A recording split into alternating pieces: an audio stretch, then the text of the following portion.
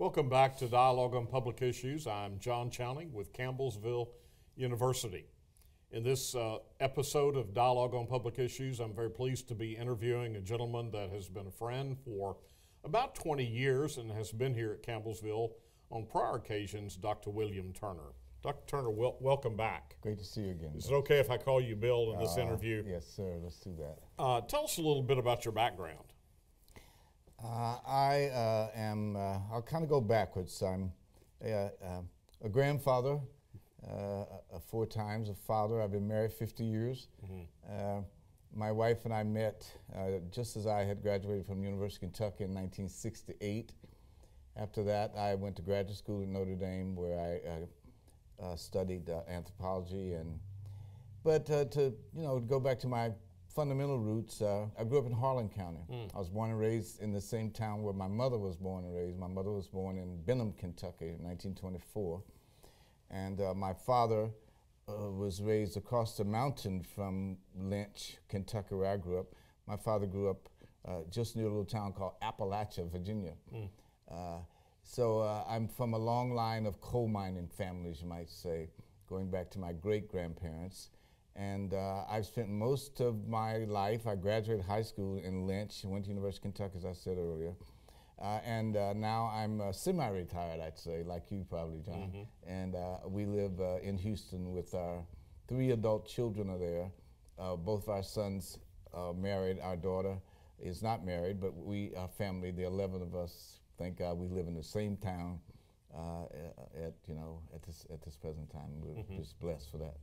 One of the things uh, throughout your career that you have done is raising awareness of, studying the experience of uh, the African American community in Appalachia, which is, I, I think there's a presumption among many that there weren't very many Right, African Americans in the Appalachian territory. Comment on that, if you would, please. Oh, yeah, no problem. You know, interestingly enough, uh, this year we're commemorating the 400th year of the, hate the word introduction of enslaved people into the United States, but it was in 1619, Right. uh, somewhere on the Virginia coast uh, near Ron- not Roanoke, near, uh, mm, what's wrong, near Hamptons Road, out Right. that way. Right. Well, the fact of the matter is, there were black people who came into what was the Pee Dee Valley, Pee Dee River Valley of South Carolina and moved into what we know today as the Smoky Mountains, which is part of Appalachia. And they did so with Spanish conquistadors uh, in the 1500s. So, really, uh, it was 100 years before slaves came to the United States. That's the men who were Africans uh, who accompanied Spanish explorers into uh, what we know today as Appalachia. But yes, you're, you're so right. When you look at the typical media image of Appalachia, when you go through the most stereotypical Beverly Hillbillies or Hee Haw show, uh, when you look at those images of the mountains of the South, uh, the only thing you would think that is black in Appalachia is coal. But to the contrary, uh, black people uh, have been part of the landscape, the cultural landscape, and in the context of coal mining, in terms of that nation building industry, uh, uh, uh, what school child, at least in our generation, doesn't remember uh, the legend of John Henry, the steel driving man that beat the machine in West Virginia. Uh, uh, so blacks have been part of the landscape of Appalachia forever. I would even mention, for example, that the most, probably one of the most famous of African Americans uh, was a man named Booker T. Washington. Uh, Booker T. Washington was a coal miner. He worked in a coal mine in Malden, West Virginia, outside of Charleston, and this is in the uh, late 1800s. There's uh, Carter G. Woodson, whom we know as the father of Black History Month, African American Right. history. He too was a West Virginian. Uh, so that, uh, for that matter, uh, more locally, uh, Appalachia, not far away is Berea College, where Dr. Woodson attended and graduated in 1898. Hmm. So, despite all of the stereotypes of Appalachia as a white homogenous space, uh, Appalachia is as diverse as any mm-hmm. part of the country. For example, where I grew up in Harlan County in Lynch, in the mid 40s when I was born, there were 48 nationalities. Hmm. You could run into somebody named Huesca, somebody named Vicini, somebody named Papuchek, somebody named Willie May, uh, somebody named Willetta. There were people whose names were uh, Vicini. So there was this rich mixture of the Carusos. There were people who were Latino uh, in the town where we grew up because they all came, many of them came through Ellis Island and they were working men out of Italy and Yugoslavia and uh, parts of Eastern Europe. And so they came directly into, uh, after they left Ellis Island, they came into Pennsylvania's bituminous coal fields, and then a little bit later they were in Eastern Kentucky's coal fields. So you grew up in a I grew multicultural up, community. yeah. I've told many people I never thought of myself as a minority until I left home. That's when the first time I heard that word. Like, what are you referring to? Because we lived uh, in a place where these coal companies bought people from all over Europe and from the South to work in the coal country. Yeah. Now, your visit to, to Campbellsville on this occasion, you've made prior visits here through the years, uh, is tied to the annual Martin Luther King uh, celebration holiday uh, emphasis. Uh, it's been 52 years approximately since his assassination, his uh, killing in uh, April 1968 in Memphis, Tennessee. Uh, why do you think it's important that we still talk about Dr. King, still uh, ha- have the annual holiday, uh, discuss his legacy, talk about his dream, emphasize his life? Um, Henry Wadsworth Longfellow uh, had a poem, and a line in the poem went as follows The lives of great men all remind us we can make our lives more sublime, for in departing, they leave behind them footprints in the sands of time. So, all of us uh, are required, or we should be, to be students of history because that is where we get our inspiration. That's where we learn about what we did, the, the tracks that people left. So, this man, and uh, I think he would probably, in his own words, be uh, low to have so much memory of himself, but he was probably one of the greatest persons, uh, at least in my lifetime, uh, to, to walk this, this earth and bring us to see that uh, there are words written in the Declaration of Independence about the unalienable truths, uh, the unalienable rights of people of all races and creeds and colors. And he certainly reminded us of those words from the book of Acts that say, God hath made of one blood all nations of men.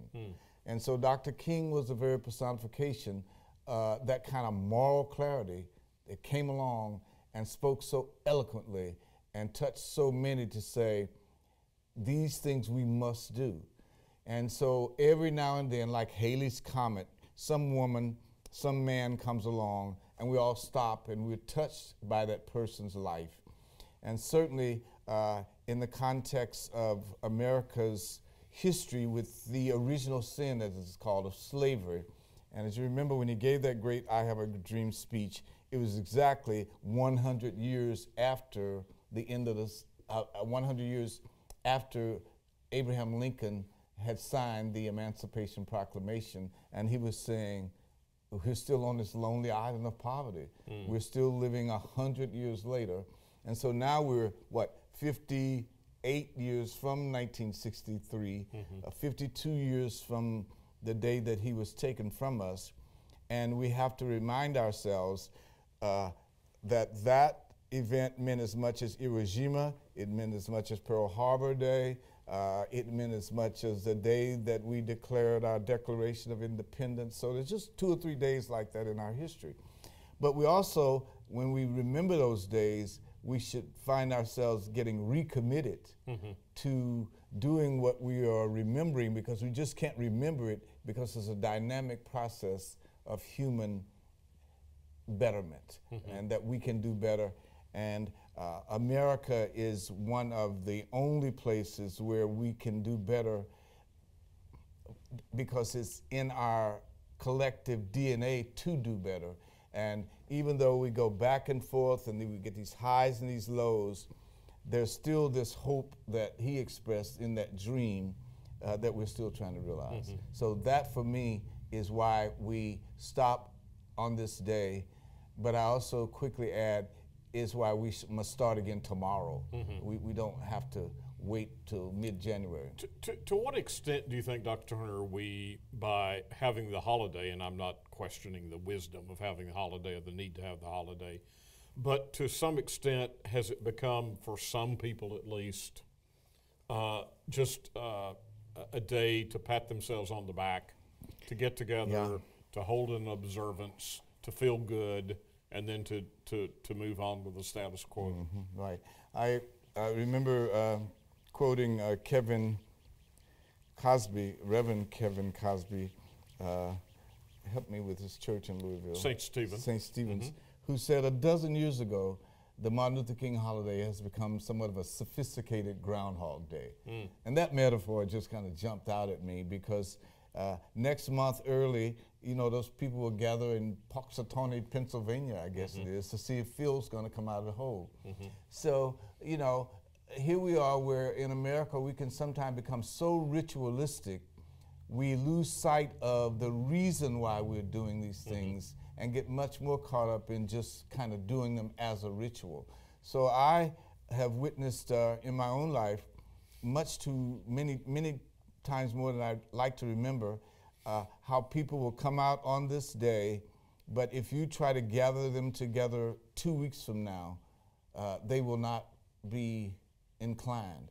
Uh, for example, uh, I uh, was so happy today as part of our being together, we met with the folk with Greater Campbellsville United. Mm-hmm. And see, it's that kind of every month effort, every week effort, people meeting to say, you know, the King holiday is fine, but Campbellsville and its greater community must be united around critical issues in July and September and October and throughout the year and not just come together uh, for a kind of formalistic uh, mm-hmm. King Day. And as you know, we, we see people do this with our most sacred of holidays at Christmas mm-hmm. when people uh, are so uh, commercialized into right. uh, the uh, gift exchanging that we often leave Christ out of Christmas. Mm-hmm. And so, in that sense, it's equivalent to be clear that we're just not here uh, taking a day off because it's uh, the politically correct thing to do. We, we have forgotten in 2020 that uh, in many ways Dr. King was a very unpopular mm, oh yeah. person, mm-hmm. very controversial mm-hmm. person. Mm-hmm. Comment on that. Let me comment on that easily. Uh, uh, when I was uh, 18, 19 years old, in the 60s, you couldn't be very far away driving out of Harlan County or coming toward this area of the state. Throughout the South, you would see 20 foot billboards that were 20 feet high that would have a picture of Martin Luther King up on it and say, This man is a communist. He's the most dangerous man in America. So, yes, we, we, we, we have to make sure that our young people uh, don't get too caught up in the Disney character that uh, we have made Dr. King into. It's one thing to to go to practically every large city in the United States and a lot of cities that aren't that large, and you run into these Martin Luther King Jr. drives. And we highways. have one in Campbellsville. Oh, you have one in Campbellsville. Mm-hmm. And as you probably know, more often than not, when you get off the main thoroughfare where the exit to it is, it goes to an African American community nine times out of ten. Uh, but to the and I, I'm thankful for that recognition uh, that kind of uh, perpetual memory uh, that you're getting off on King Drive. But do we see Dr. King when we see the homeless person mm. on King Drive? Do we work for Dr. King when we see uh, the child on King Drive who is uh, neglected or the woman who is abused and any number of people who are marginalized for, for various reasons? So yeah, we have we have to get away from the commercialization of this day. Uh, just two days ago, I think it was, and it wasn't the first time, but this was the eighth time I think. that uh, an organization basically associated with Second Amendment rights decides to have a Save Our Guns Day in Richmond, Virginia, but they do it on the King holiday, which I guess some people say, well, that was a stroke of genius, because otherwise, how could you have gotten 22,000 people to get away from wherever they were to come because everybody's off that day? But I don't think they spent very much time talking about the Prince of Peace uh, in Richmond the other day when they hold this on King Day. And as you know, too, the ski lodges get filled up on that Monday because they have a long weekend and a lot of people go have a nice winter vacation mm-hmm. because you can go from Friday until Tuesday on King weekend and uh, they don't go. Uh, uh, I've done uh, some research on it, and in uh, 10 cities that I looked at, the King Day celebrations always tended to be held in African American churches mm-hmm. or on a college campus. So that still we're finding ourselves with a, re- with a reflection of Dr. King's greatest challenge to his fellow clerics when he did his letter from a Birmingham jail. And he said, You guys should be in here with me. If you are a man of the cloth, if you are a woman who is a Christian and you believe in God, then we should be doing this together. And one of Dr. King's greatest distractors was the organized religious church. Mm-hmm. And it was a, you know, you know yourself, it was much of a fight to say that how can you be in that sacred place and not be a part of this movement? So we now have some similar issues that divide us, everything from climate issues to issues with lifestyle to issues with uh, health care that we get divided along. And Dr. King talked about those same things 50 years ago. Not to mention uh, that Dr. King was a staunch uh, opponent of this military industrial complex mm-hmm. that he talked about. Mm-hmm. Uh, so, yes, uh, his words, his ideas, his themes, his philosophies, and his methods, because at the end of the day, he was devout uh, he embraced Gandhi's idea of nonviolence. Mm-hmm.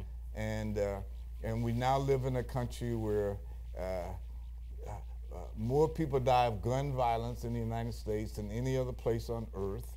Uh, there's probably been people, one city in particular, Chicago, you know, so we could, we could go all around the country. Louisville has the same issues. And these are things that we just not only are we not fighting them, it's as though we've decided to just take them for mm-hmm. granted as it's a part of life mm-hmm. to have violence. And Dr. King would say, no, it is not.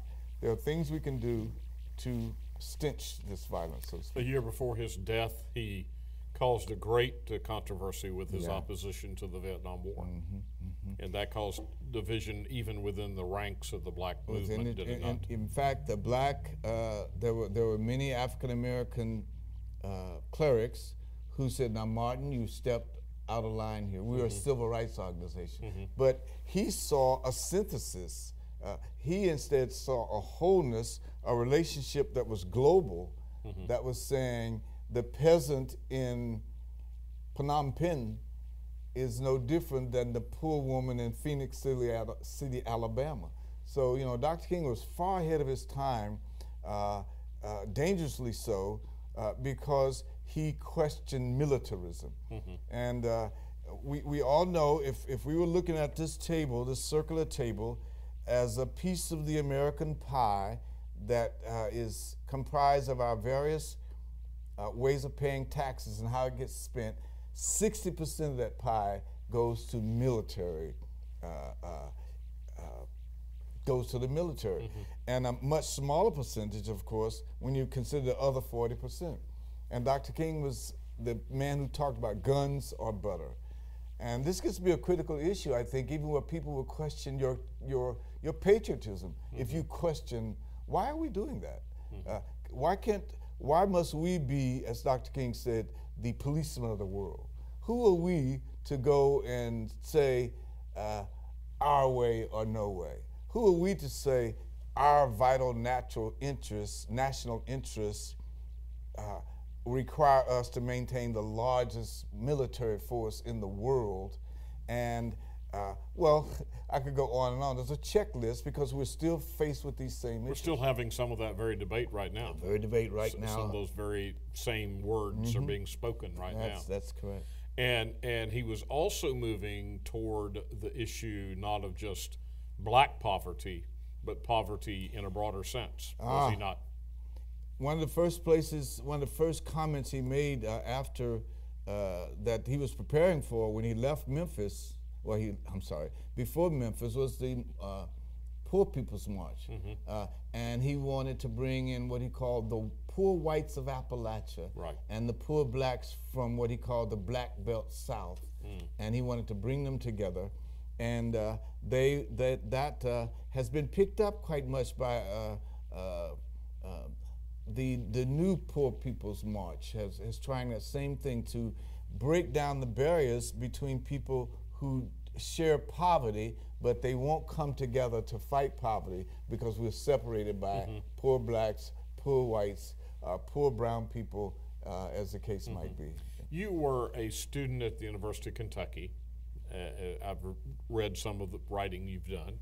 Uh, in 1968, That's correct. you were the head of an organization called the Black Student Union when Dr. King was uh, shot in Memphis in April of 68.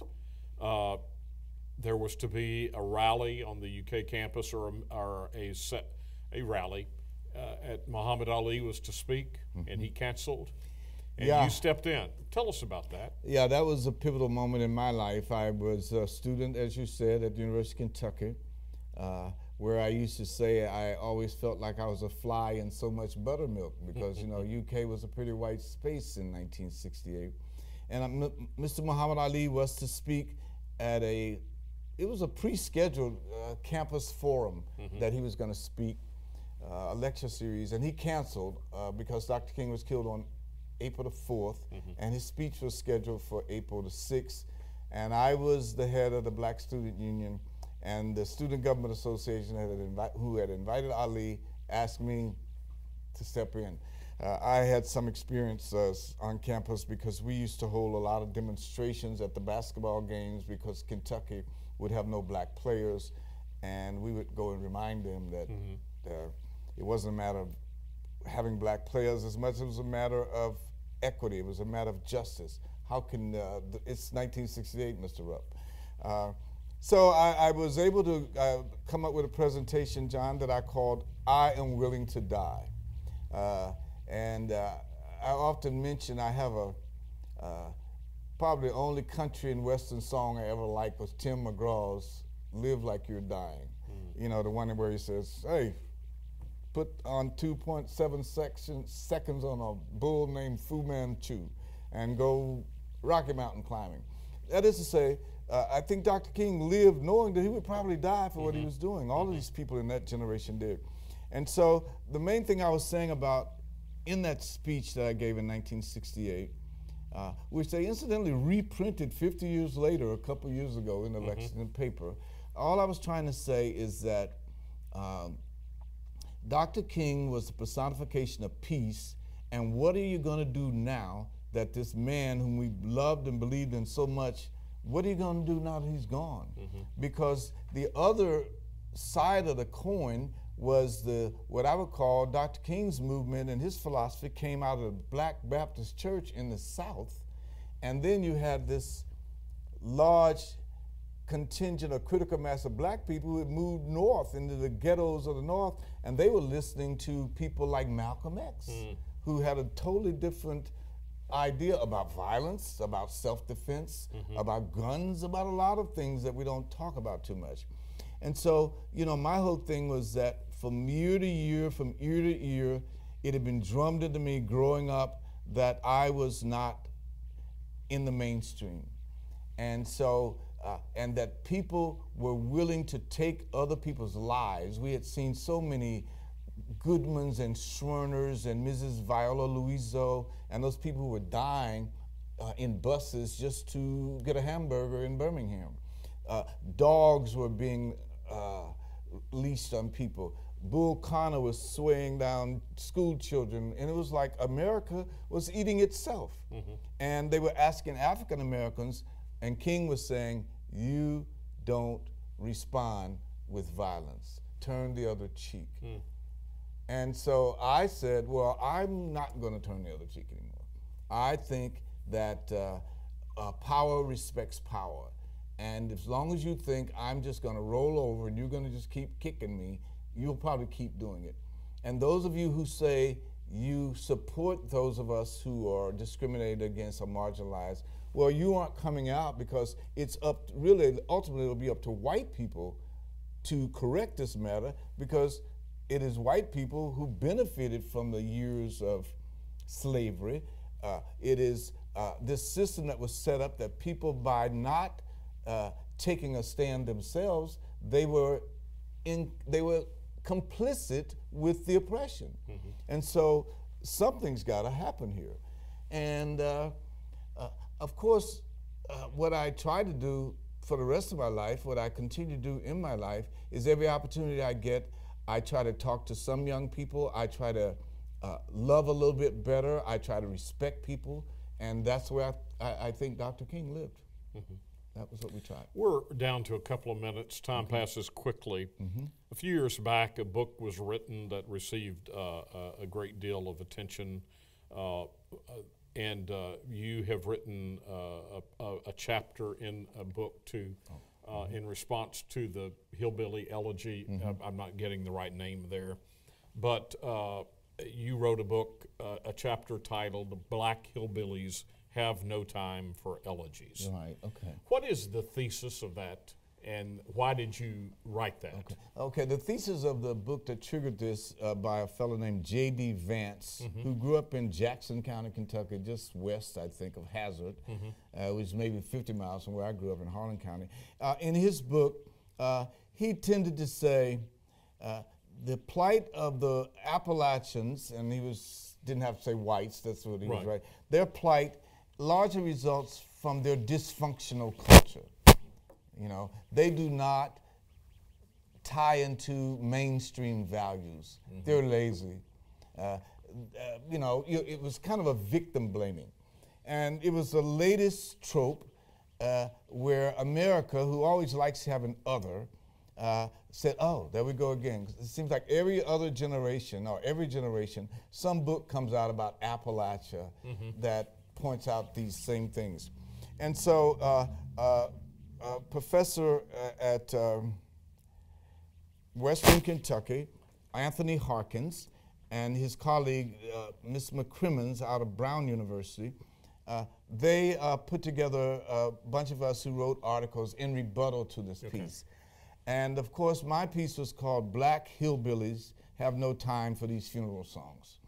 And that was, we, what, what I was saying essentially is, uh, I grew up in a part of Appalachia where I came to be influenced by some people who would come home from their military careers, people who would come home when I was a kid from playing with the Harlem Globetrotters, and people who would come home who had graduated high school in Harlan or Lynch, and they were physicians. Mm-hmm. And so that by the time I got up there and ready to go to school in the mid 60s, I got out of high school in 1964, I had seen a lot of people overcome a lot of mm-hmm. things, but they never fell victim to being a victim. Yeah. You know, they, they said, I can make it. So that's what I try to write about is some of the African Americans I grew up with in my generation and beyond whose lives uh, were marked by progress and by self-assertive agency and not by being a victim. We're out of time. I know. Dr. Sorry. William Turner, John Chowning for Dialogue on Public Issues. Thank you. Thank you so much. Thank you.